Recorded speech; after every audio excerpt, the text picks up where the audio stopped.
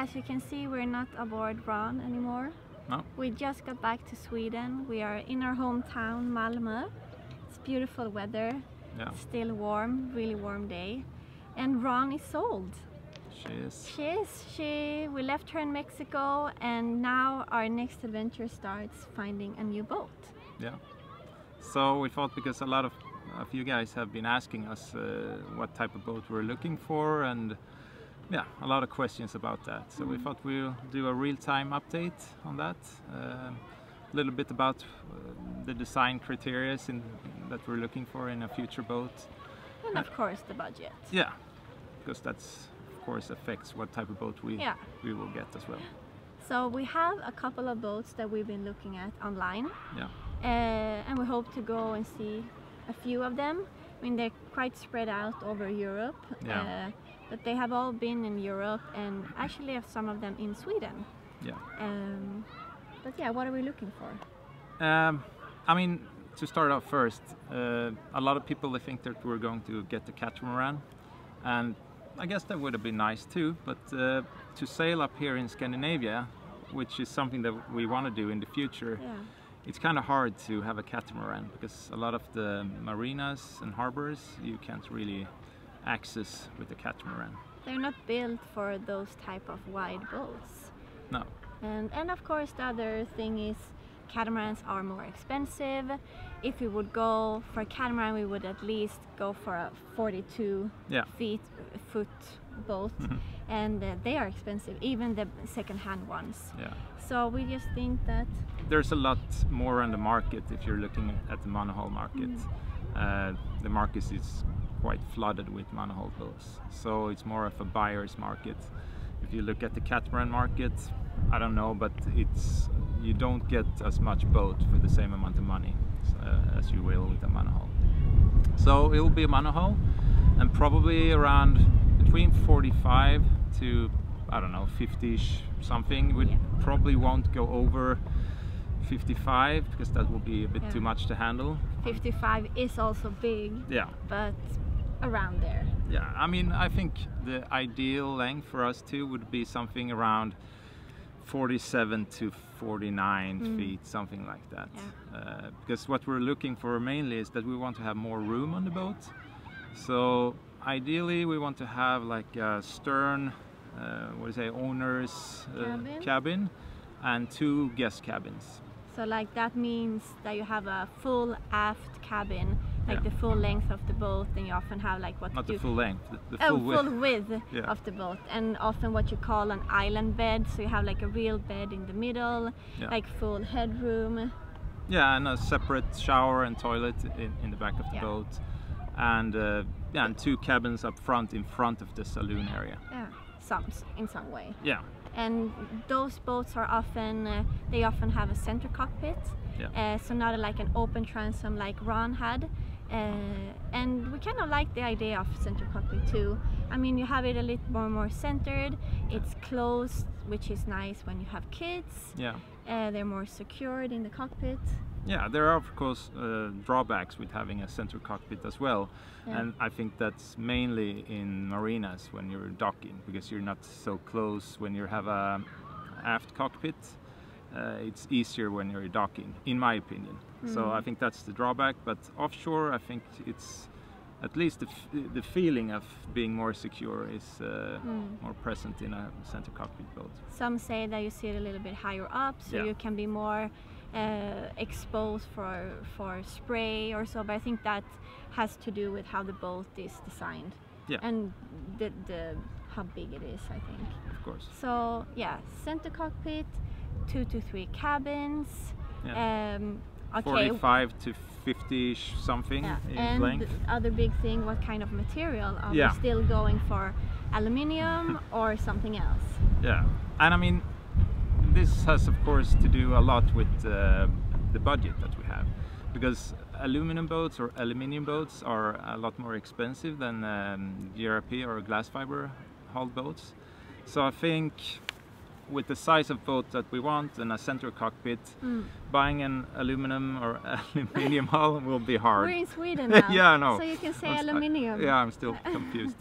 Uh, so it will probably be uh, a glass fiber boat, Yes. which is fine for the type of cruising that we're probably going to do. I don't see, at least in a foreseeable future, that we're sailing to Antarctica. Maybe we sail down to Patagonia, but still, the amount of ice in those areas is still okay with the glass fiber Yeah. hull. So Yeah. And we're thinking going for a sloop, which means there is one mast. yeah, Uh, but with a ketch. Or uh, sorry, a sloop, but with the cutter rig in, Yeah. in front, So two head sails. Exactly. And I mean, ketch is not like a big no-no. No, Could be also, but like what we're mostly looking for, mainly looking for, is a sloop. Cutter rigged would be very nice. Uh, what kind of keel? Um, probably not long keel. I'm not a fan of that. Um they're a pain in marinas. They're of, co- of course offshore. They track very well, and they're, you know, they feel secure when the weather is heavy. But mm, something in between. I mean, probably not a, you know, like a T keel or something like that. But uh, yeah, a fin keel for Yeah. sure.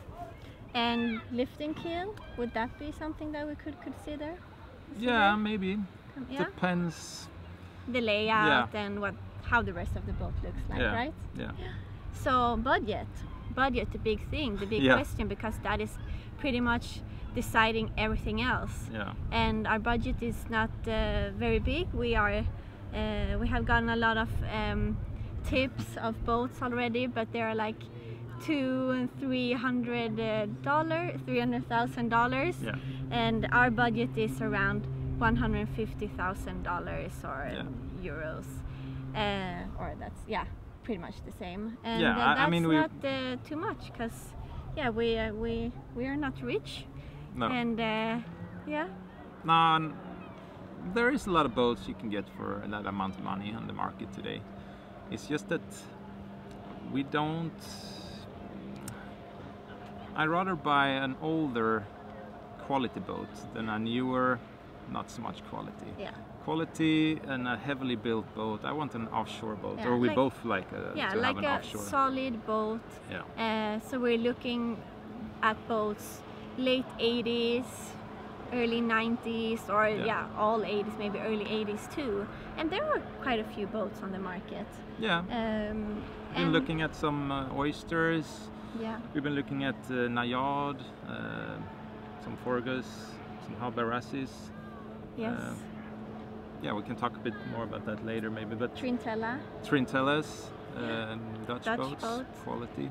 So the boats that we kind of like Yeah, are Swedish boats. yeah, We like Dutch boats. yeah. We like the oyster. Yeah, oysters which, are okay. I mean, uh, I mean, there is an oyster um, 55. That's a pretty big boat, but there is a one that is pretty well priced on the market right now. It sits at 165k, uh, 165,000 dollars. Maybe that's possible to get down a bit, but it's a very big boat.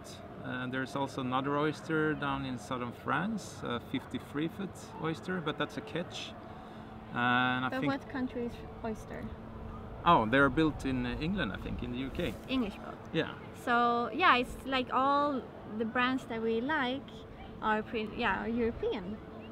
But we Um, also we've been looking at some Tayanas. yeah, Uh, I, I, we- I, we know that those are very well known in, in the US and Yeah. North America. Um, there is actually a Tayana 55, also a bit on the big side for us, but it's for sale here in Sweden. Northern Sweden. Yeah, for a reasonable price. They want, uh, I think the asking price is one one hundred forty-five thousand dollars. So that's within our budget. So I think we, oh, we, I think we might have a look on that boat. Um, but the Trintellas for me is probably if we can find one because they're not so common. Um, Trintella is a Dutch boat, Yeah. and many of them are built in aluminium actually. yeah. Um, There's a Trintella Yeah. 44, 46, a 40, and yeah, 49, and then bigger ones too. But they're not so common on the market. There is one for sale in Thailand, which has a good price, but it's very far away. It would be very expensive to go there just to look at one boat. Yeah. And also, what we're thinking of is then is it has already passed Yeah, South uh, Pacific. South Pacific, which is a place we want to go to, and it's much harder to go back east from Thailand than going the other way. So these brands and boats that we have mentioned is of course not that important. What's important for us is that how the actual boat is that we get. I mean, we don't really care about brands or No. anything like that. And of course, compared to the price and what state condition it's in. yeah, So it could I be a one-off boat, so Yeah. it doesn't really matter as long as it has the features that we like. Yeah, and I mean, those kind of boats that we mentioned now have that kind of th- those features and design that we're looking for. Yeah. So it will give you an idea of yeah what kind of boat we like and And and and also, I mean, if you have any tips of boats that we should, you think that we should look for, just send us an email or write in, down in the comments. or maybe you have tried to sell your boat for a really long time and think this would be the perfect boat for Malin and Johan and uh, Yeah. our little baby girl. so Yes, yeah, let us know. let us know. So now we're going to go to a marina over here called Limhamn, and we're going to walk the docks there and just see if there is something we like. Yeah, and if we do, we're gonna show you a little bit about those boats Yeah. and talk about them.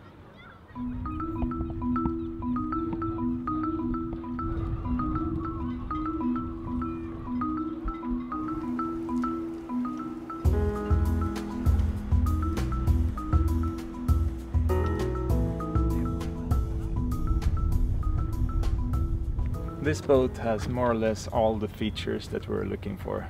Center cockpit, three cabins, and uh, a cutter rig. Two head sails. It's a bit big and it's probably way above our budget. Um but it's a really nice boat. It's a west coast boat, Najad 49, built on the island of Orust on the west coast of Sweden same place or same area as Hallberg-Rassy, Sweden Yachts, Forgus, and uh, yeah, there's a lot of boats built in that area, quality boats. And uh, most of these West Coast type of boats have this fixed window uh, in the cockpit, which is quite nice. You get the good visibility, and uh, yeah, they're really nice seagoing boats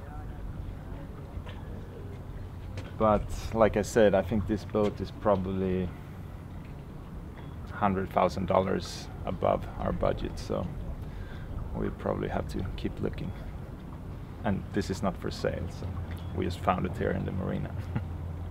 One bad thing with these type of boats are that most of them have teak decks, which is nice in a way, but uh, if you have a problem with that, it could be pretty a big job to fix it because uh, most of them have balsa core decks and if it's an old boat the teak decks are screwed in place and if you have a leak there you will have rot in the balsa core deck and that's a major job to fix that so that's something that we have to look for if we're ending up buying a west coast boat like a Hallberg-Rassy or a Najad or something like that from maybe from the 90s we'll see what we can afford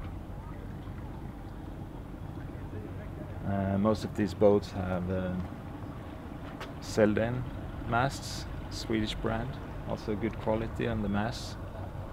Uh, this particular boat has two poles on, on the mast with two tracks, which is very nice because you can go wing on wing with two head sail and just take down the mainsail, which is pretty nice when you go downwind in the in the trades.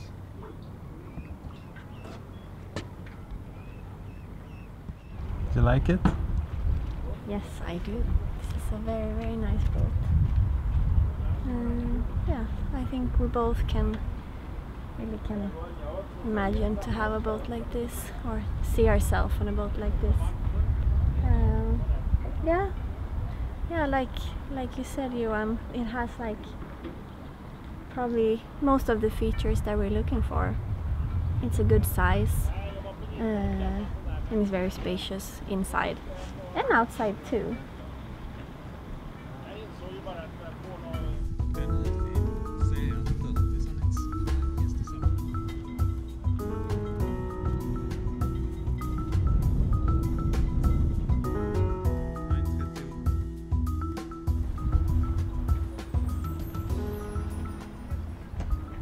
This is another interesting boat for us. It's a Forgus all built in the same area as the other ones that we mentioned before on the west coast of Sweden. It's 45 feet uh, and probably more uh, within our budget than the Najad. Uh, if you look on the looks, it's quite similar to a Hallberg-Rassy. Uh, maybe a bit more beamy, uh, also with the center cockpit. Probably has two or three cabins. Um, what could this be? Also late, early 90 something. Yeah, mid 90s, Yeah. I would say. Uh, yeah, it's a nice setup. Also a cutter, so two head sails. Um, yeah, and there is actually a Forgus 52 on the market that we have been looking at. Funny thing is that we actually met it in the uh, Caribbean. We sailed, both of the owner of that Forgus 52 and us sailed the Caribbean at the same time, and I remembered when I saw the boat and uh, that oh I recognize this boat and we met them in I saw we saw the boat in I think was Saint Saint Lucia and Saint Bart's. Um, that one is for sale. It's on the west coast. Um, it has five cabins, so they have really pushed pu- put in a lot of cabins in that boat. Uh, so yeah, that's seven feet more than this one. So that's a big boat. Uh, and then it's kind of within our budget. So it's an interesting boat for us and we I think we'll go and have a look at it. It's another Swedish built boat, a Maxi, Maxi 1300, so it's uh, 13 meters long. It's built on the east coast, I think, um, and it's actually the same brand as the first boat that I, ha- that I had uh, when I crossed the Atlantic to the Caribbean many years ago, 2001, I think it was. This is a lot nicer and more expensive than the boat I had, but it's the same brand. Um, it's maybe not the type of boat that we're looking for uh, because it has a aft cockpit, which is fine, but this boat has a bit different design thoughts behind the yeah, when they built the boat, I guess. And it's an East Coast boat, and in my mind, there's some difference between the West Coast boats and the East Coast boats in Sweden. Because the West Coast is more exposed, um, rougher seas, and you can see that in how those brands are designed, like the Hallberg-Rassy, the Najad, Malö, Forgus. Like they have this fixed windshield, center cockpit, uh, maybe not as fast as this type of boat, but um more for offshore work. This is for the Baltic, a bit more protected waters, but it's a very good quality boat. So of course you could take this boat around the world, no problem. But it's just a different design thinking behind the, these these boats.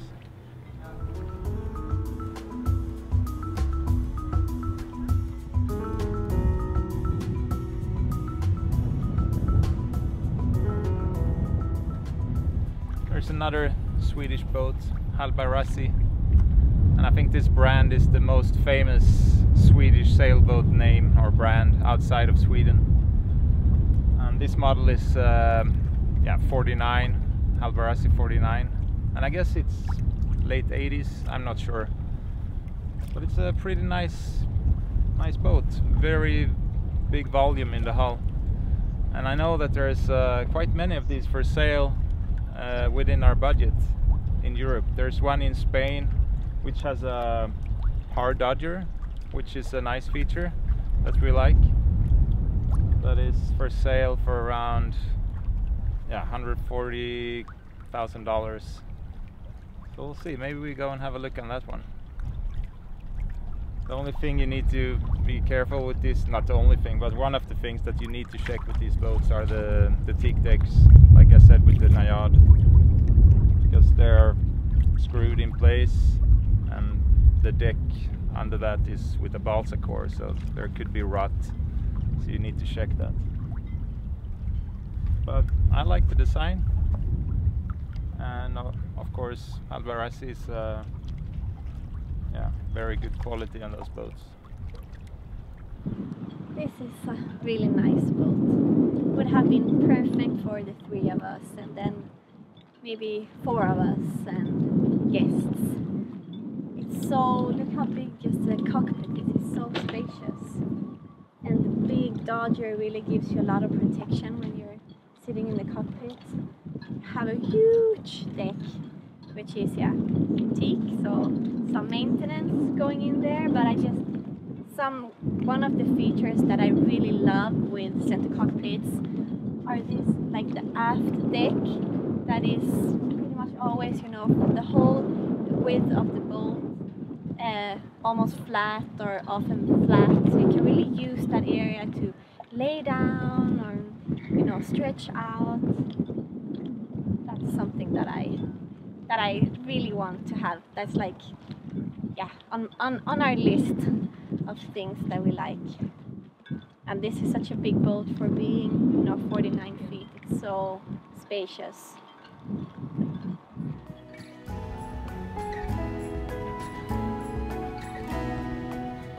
We'll keep you guys updated on the boat progress. Stay tuned for next week's episode as we make our last stop in California. Thanks for watching.